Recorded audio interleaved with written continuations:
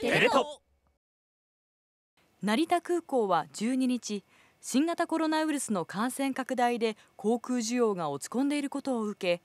関連企業や従業員向けの雇用相談窓口成田ジョブポートを空港内に開設しました。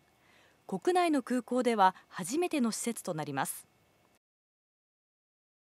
成田空港では飲食店などおよそ450店のうち2020年12月の時点で半数が臨時休業の状態になっているということです。